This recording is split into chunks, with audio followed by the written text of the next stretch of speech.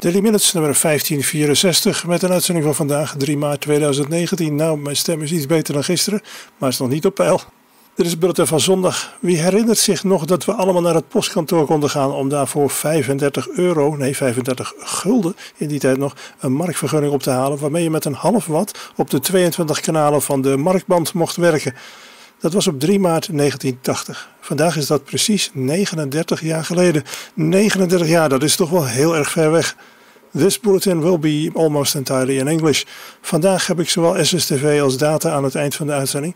Tegelijkertijd, ik heb vier SSTV-beelden in PD90 en tegelijkertijd zend ik in MFSK 64 op 512 hertz een stuk data uit. MFSK 64 op 512 hertz. Helemaal aan het eind van deze uitzending dus. Vandaag is er het nieuws van de ERRL, de ERRL Audio News en daarnaast een column van Onno. This is ARRL Audio News, your weekly summary of news highlights from the world of amateur radio. If you retransmit audio news through a repeater, listen for the Morse code K character, followed by four seconds of silence. That's your cue to stop transmitting so that your repeater timer can reset. I'm Carla Pereira, KC1HSX, and these are our stories for Friday, March 1st. The January issue of the IARU Region 1 Monitoring System newsletter reports the Russian Sunflower Coastal Radar, located east of Vladivostok, is being heard at night on 3716 kHz and 6860 through 7005 kHz, as well as on several 60 meter frequencies. A Chinese wideband over the horizon radar also appeared on 7.000 MHz in early January. The winning article for the February 2019 QST Cover Plaque Award is Installing Coax Crimp Connectors by Dino Papas, KL0S. The QST Cover Plaque Award, given to the author or authors of the most popular article in each issue, is determined by a vote of ARRL members on the QST Cover Plaque poll webpage. Here's a heads up to listen for activity from the International Radio Club 4U1-ITU in Geneva, Switzerland. A number of radio amateurs from around the globe are attending the ITU conference preparatory meeting in Geneva in advance of World Radio Communication Conference this fall. Already, there has been a lot of activity from 4U1 ITU, with much of the work being on CW and FT8. IARU Secretary David Sumner K1ZZ notes that 4U1 ITU is located in an office building with rooftop antennas and a very high level of man made noise, especially on 80 and 160 meters. Summits on the Air activity has reached new heights with a report of an operation from the peak of Mount Aconcagua in Argentina at 22,841 feet. The operation took place on February 16th by Tom Rudzinski, SQ9FVE, who was using the call sign LU slash SQ9FVE. Tom is an experienced and skilled mountaineer, and as required for such an undertaking, planned the expedition carefully, including all necessary support. The climb to the summit began some 13 days ahead of the operation. Upon reaching the top, Tom made a total of five contacts on 2 meter FM with Argentinian stations as far as 56 miles away. With its funding secure for another year, WWV, the world's oldest continuously operating radio station, will have extra reason to celebrate its centennial this fall. The National Institute of Standards and Technology and the Northern Colorado Amateur Radio Club have teamed up to organize 100th anniversary events. A memorandum of understanding is pending. The WWV committee has announced that the call sign WW0WWV was granted on February 23rd to the WWV Amateur Radio Club for use during the Amateur Radio Special event, planned to run September 28th through October 2nd, with operators on the air around the clock. NCARC predicts the effort will require hundreds of volunteer operators. The WWV committee met on February 22nd to further firm up plans for the centennial celebratory events. Although the U.S. government cannot fund any amateur radio special event expenses, club members will be allowed to use a 15 acre parcel on WWV property. The operating site lies outside the security fence. And now, with this week's satellite update, here's Bruce Page, KK5DO. Are you new to operating packet on satellites like the ISS and NO84?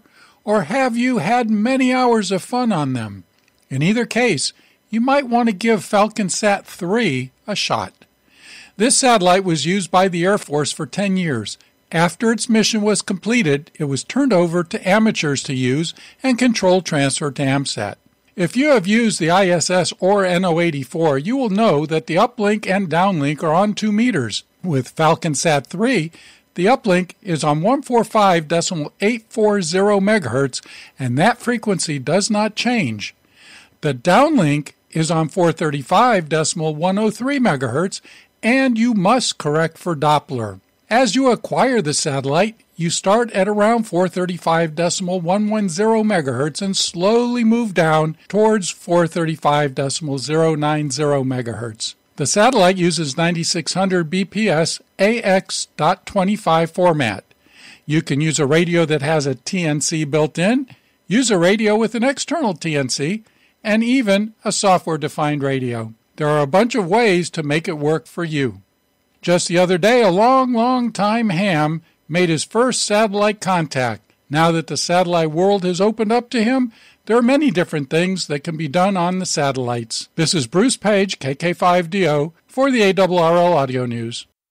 This is the ARRL Audio News propagation forecast for Friday, March 1st. No spots on the sun this week, but the mighty solar winds are blowing from a hole in the sun's atmosphere, traveling at more than a million miles an hour. The particles are causing geomagnetic storms, and some people in the United States are being treated to the spectacle of the northern lights. The good news is that this coronal hole should be rotating out of view over the next several days.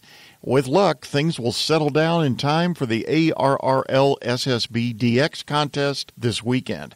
Beyond the weekend, conditions should be quiet well into the following week.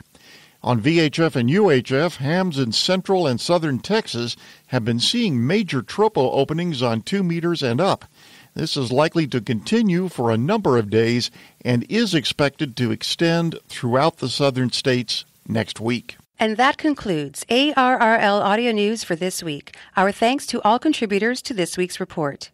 ARRL Audio News is produced by the American Radio Relay League, the National Association for Amateur Radio. For more information on amateur radio or the ARRL, visit us on the web at arrl.org. You can also find us on Facebook and Twitter by searching for ARRL. If you have a question or comment about ARRL Audio News, email us at audionews at arrl.org.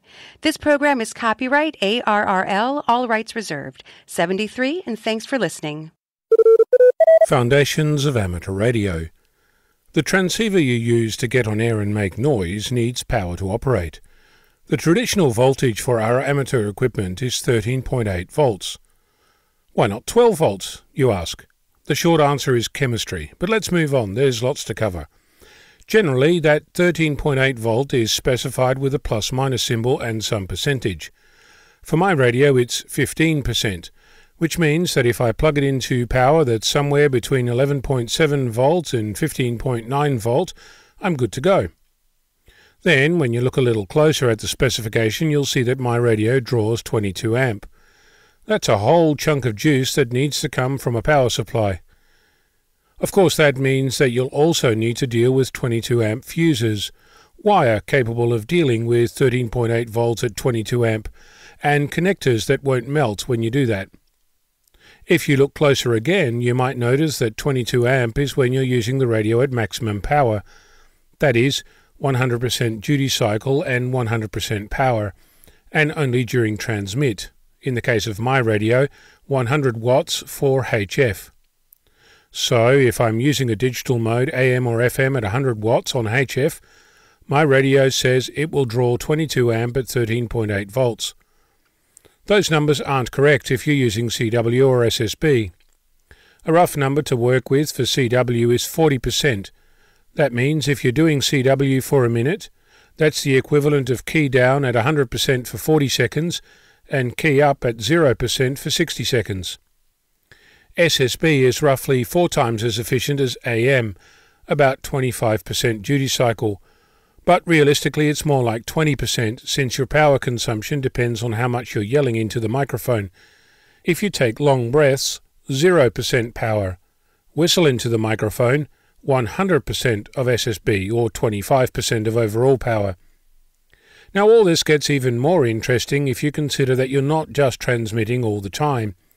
If you're only transmitting half the time, you need to take your power consumption down another 50%. So SSB might be 10%, CW only 20%, and the digital modes 50%, from the perspective of the power supply.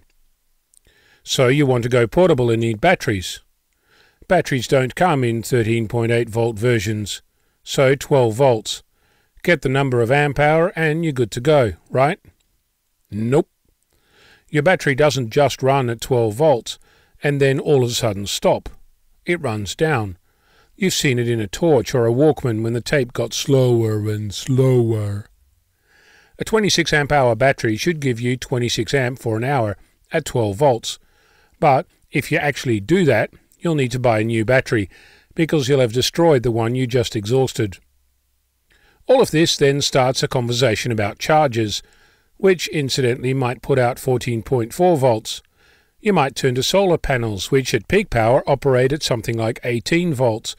Then you stumble into the world of PWM versus MPPT solar converters or chargers. Then there's the joys of over and undercurrent, battery discharge rates, continuous versus intermittent charging, different battery types, battery safety, storage, weight, outgassing, and more fun than you'll want to know about on your morning commute. And I haven't even talked about battery isolation, HF interference from chargers and inverters, the differences between powering your radio straight from a battery or via a DC to DC converter, using 240 volts or if you're in the USA 120 volts in the field, generators, compatibility with others, and how much all this might cost and if you need to invest in lotto tickets to pay for this experience.